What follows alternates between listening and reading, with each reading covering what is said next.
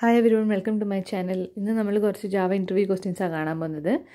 First question compile time and run time polymorphism നമ്മൾ പണ്ട് പഠിക്കുന്നതാണ്. കമ്പൈൽ ടൈം എന്ന് പറഞ്ഞു കഴിഞ്ഞാൽ കമ്പൈൽ ടൈം റിസോൾവ് ആവും.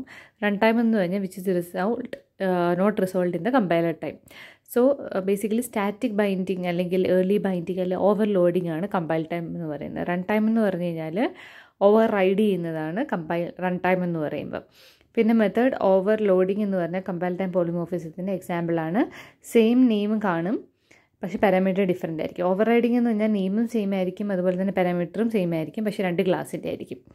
പിന്നെ അതായത് ഡിഫറെന്റ് ക്ലാസ്സസ് ആണ്. പിന്നെ എക്സിക്യൂട്ട് ചെയ്യുമ്പോൾ ബിഫോർ ദ ഏർലി കമ്പാൽ ടൈമിന്റെ ഏർലി ടൈമിൽ തന്നെ വേണം. പക്ഷേ മറ്റേത് റൺ ടൈം ഓഫീസർ എന്ന് പറഞ്ഞാൽ എക്സിക്യൂട്ട് ചെയ്യുന്ന ടൈമിലായിരിക്കും അത് ബൈൻഡ് ചെയ്യുന്നത്.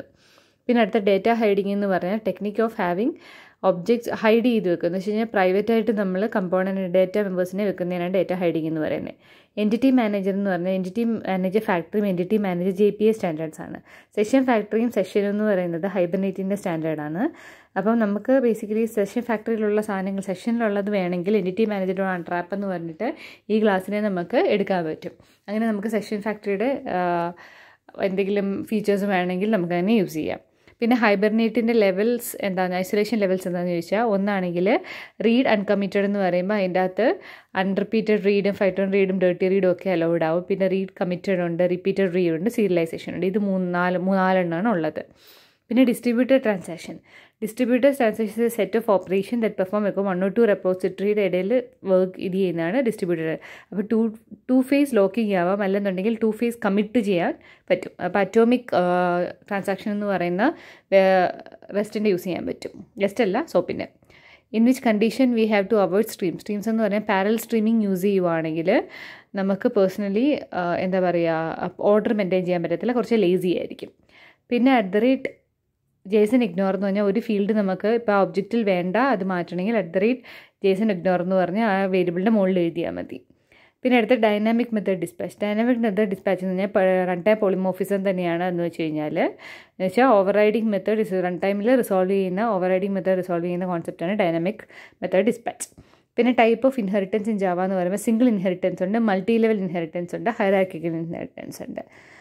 ഓക്കെ മൾട്ടിപ്പിൾ ഇൻഹെറിറ്റൻസ് ആണ് വേണ്ടാത്ത. ബാക്കി മൂന്നെണ്ണവും നമുക്ക് അലൗഡ് ആണ് ജാവയ്ക്കകത്ത്. പിന്നെ collections A P M stream A P തമ്മിൽ ഡിഫറൻസ് എന്ന് കളക്ഷൻ എ പി എന്ന് കഴിഞ്ഞാൽ സ്റ്റോർ ചെയ്യാൻ യൂസ് ചെയ്യും സ്ട്രീം എ പി ഓപ്പറേഷൻസിന് വേണ്ടിയാണ് കളക്ഷന്റെ അകത്താണ് യൂട്ടിൽ പാക്കേജിലാണ് ഇത് യൂട്ടിൽ ഓർ സ്ട്രീമിന്റെ അകത്ത് മറ്റേതുള്ളത്. ഇതാണെങ്കിൽ എലമെന്റ്സ് ഒക്കെ എംബ്രോയിഡ് ഇൻ ദ ബിഗിനിങ് ഇത് ഇന്റർമീഡിയറ്റ് ഓപ്പറേഷൻസ് പയ്യെയാണ് ചെയ്യുന്നത്.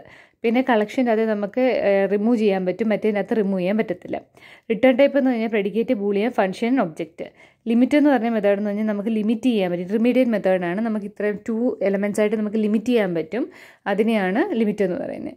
പിന്നെ റെഡ്യൂസ് മെത്തേഡ് എന്ന് പറയുന്ന സ്ട്രീം അതും ഒരു ഇന്റർമീഡിയറ്റ് ഓപ്പറേഷൻ തന്നെയാണ്. അത് ബേസിക്കലി എന്ന് വെച്ച് കഴിഞ്ഞാൽ ഒറ്റ എലമെന്റായിട്ട് റെഡ്യൂസ് ചെയ്യും. ലൈക്ക് മാക്സ് മിന്നൊക്കെ ചെയ്യുന്ന പോലെ അത് ഒറ്റ എലമെന്റായിട്ട് ആ സ്ട്രീമിനെ റെഡ്യൂസ് ചെയ്യാൻ വേണ്ടി യൂസ് ചെയ്യുന്നതാണ് reduce method two thread at a time notify വിളിക്കുകയാണെങ്കിൽ ആദ്യമായിരിക്കും ആദ്യം ഇൻവോക്ക് ചെയ്യുന്നത്. വെച്ചാൽ ത്രെഡ് ഷെഡ്യൂളിന്റെ ബേസിസിലാണ് നമുക്ക് എങ്ങനെ ഡീബഗ് ചെയ്യാൻ പറ്റും സ്ട്രീമിനെ എന്ന് ചോദിച്ചു കഴിഞ്ഞാൽ സ്ട്രീമിനകത്താണെങ്കിൽ ഒരു ബട്ടൺ ഉണ്ട് ട്രേസ് കറണ്ട് സ്ട്രീം ചെയ്യുന്നു. പറഞ്ഞാൽ അവിടെ നോക്കിയാൽ മതി ഇന്റലിജയ്ക്ക് അത് കാണാൻ പറ്റും ഓരോന്ന്.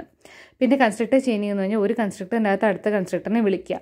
വിത്തിൻ ദ ക്ലാസ് വിളിക്കണമെങ്കിൽ ദിസ് ആയിരിക്കും. From the base base class മെയിൻത്തെ class വിളിക്കണമെങ്കിൽ സൂപ്പർ എന്ന് പറഞ്ഞിട്ട് വിളിക്കും. അതാണ് കൺസ്ട്രക്ടർ ചെയിനിങ് എന്ന് പറയുന്നത്. പിന്നെ അടുത്ത് എക്സെപ്ഷൻ പ്രൊപ്പഗേഷൻ ഉണ്ട് എക്സെപ്ഷൻ പ്രൊക്കേഷൻ എന്ന് കഴിഞ്ഞാൽ ഇവിടെ ത്രോ ചെയ്തിട്ടുണ്ടെങ്കിൽ അതിന്റെ പേരൻ ക്ലാസ് അവിടെ ക്യാച്ച് ചെയ്തില്ല അതിന്റെ പേരനിലോട്ട് വരും അപ്പോൾ ആ സ്റ്റാക്ക് ട്രീസിന്റെ താഴോട്ട് താഴോട്ട് താഴോട്ട് വരും. അതാണത്. പിന്നെ ഡേറ്റാ സോഴ്സ് കണക്ഷൻ പൂൾ എന്ന് പറഞ്ഞാൽ കണക്ഷൻ പൂളിംഗ് എന്ന് പറഞ്ഞാൽ എന്താ? കണക്ഷൻസ് സേവ് ചെയ്ത് വെക്കും. ഓരോ വട്ടവും ചോദിക്കുമ്പം പുതിയത് ക്രിയേറ്റ് ചെയ്ത് കൊടുക്കത്തില്ല. അത് ഡേറ്റാ സോഴ്സ് എന്ന് പറഞ്ഞൊരു ഒബ്ജക്റ്റ് യൂസ് ചെയ്തിട്ട് നമ്മൾ ചെയ്യുന്നുണ്ട് ഡേറ്റാ ബോസ് കണക്ഷൻ പൂൾ എന്ന് പറയുന്നത്. Property to show S Q L hibernate എന്ന് പറഞ്ഞാൽ ഷോ എസ് ക്യൂ എന്നൊരു പ്രോപ്പർട്ടി ട്രൂ ആക്കി വെച്ചാൽ മതി. പിന്നെ സ്ട്രാറ്റജി ഡിസൈൻ പാറ്റേൺ എന്ന് പറഞ്ഞാൽ റൺ ടൈമിലായിരിക്കും ഇതിന്റെ ബിഹേവിയർ ചേഞ്ച് ചെയ്യുന്നത്. എന്ന് വെച്ച് കഴിഞ്ഞാൽ ഒരു ഇന്റർഫേസ് ഉണ്ട് രണ്ട് ക്ലാസ് മൂന്നര ക്ലാസ് ഉണ്ട്. മെയിൻ ക്ലാസ് ഇന്റർഫേസ് വഴി നമ്മൾ ചെയ്തിട്ട് എടുക്കുകയാണ് ചെയ്യുന്നത്. പിന്നെ അടുത്തതെന്ന് വെച്ച് കഴിഞ്ഞാൽ ഇപ്പം ഇന്റിജർ എന്ന് ഡിഫൈൻ ചെയ്തിരിക്കുന്ന ഒരു സാധനം ക്യാരക്ടർ പാസ് ചെയ്ത് കഴിഞ്ഞാൽ വർക്ക് ചെയ്യും വർക്ക് ചെയ്യും. കാരണം ടൈപ്പ് കാസ്റ്റിംഗ് ആണ്. പിന്നെ ഓട്ടോ ബോക്സിംഗ് എന്ന് പറഞ്ഞാൽ ഇന്റി ഇന്റിജർ ആക്കുന്ന റാപ്പ് ചെയ്തെടുക്കുന്നതാണ് ഓട്ടോ ബോക്സിംഗ് എന്ന് പറഞ്ഞാൽ പിന്നെ save persist save or update save എന്ന് പറഞ്ഞാൽ സേവ് ചെയ്യാൻ വേണ്ടിയതാണ്. സേവ് ഓർ അപ്ഡേറ്റ് എന്ന് പറഞ്ഞാൽ ഇത് സേവ് ചെയ്യും അല്ലെങ്കിൽ അപ്ഡേറ്റ് ചെയ്യും. അത് ഡേറ്റ ഉണ്ടെങ്കിൽ അപ്ഡേറ്റ് ചെയ്യും അല്ലെങ്കിൽ പുതിയതായിട്ട് സേവ് ചെയ്യും. രണ്ട് ഫംഗ്ഷനും ചെയ്യും.